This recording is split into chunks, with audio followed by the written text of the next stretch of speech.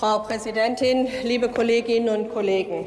Die Zahlen sind hier mehrfach genannt worden, und die Notwendigkeit, die Spendezahlen zu erhöhen und das zu unterstützen, ist auch vielfach genannt worden. Deshalb ist es für mich ebenfalls unverständlich, dass wir an dieser Stelle eine Debatte führen, die eigentlich den Kern dessen, was schon in einem Gesetzentwurf vorliegt, ein Stück weit überdeckt.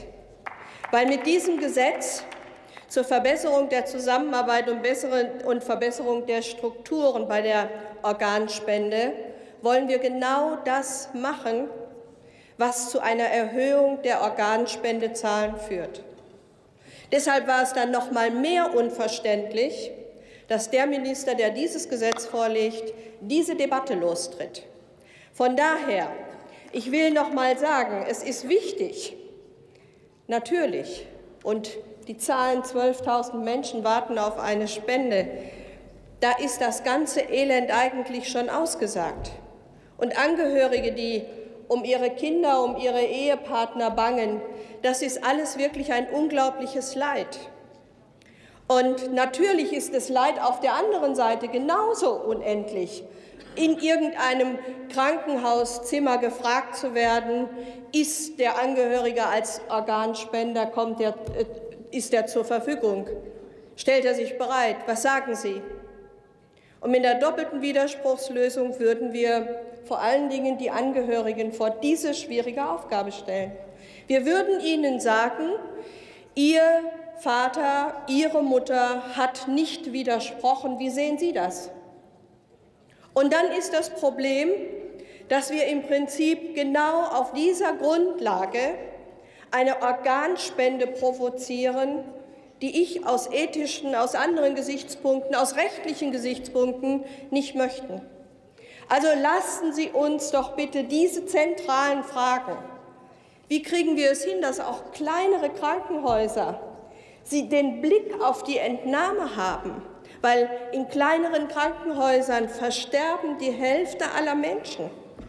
Das sind die Todesfälle, um die es geht. Da muss man den Blick drauf haben. Wie kriegen wir es hin, dass die Entnahmekrankenhäuser das nicht nur als unwillige Pflichtaufgabe empfinden, sondern dass sie sich auch der Sache annehmen und sagen, ja, ich leiste damit auch einen wichtigen medizinischen Beitrag. Und wie kriegen wir es hin, dass die Vergütung dann auch stimmt?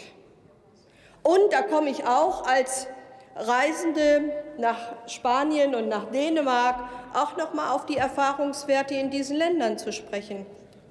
Und ich sage, aus den Gesprächen, die wir dort geführt haben, und auch den Untersuchungen, die es gibt, gibt es keinen Zusammenhang zwischen Widerspruchslösung, Zahl der Organspende, Zustimmungslösung, Zahl der Organspende. Es liegt allein an den Strukturen. Wie kriege ich es hin,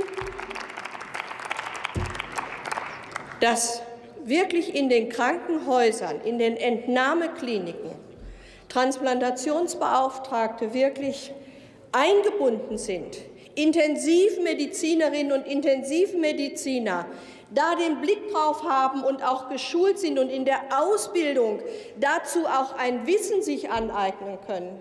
Wie kriegen wir es hin, dass Pflegerinnen und Pfleger dabei sind und auch in einem Team auch christlicher Beistand, theologischer Beistand sichergestellt ist.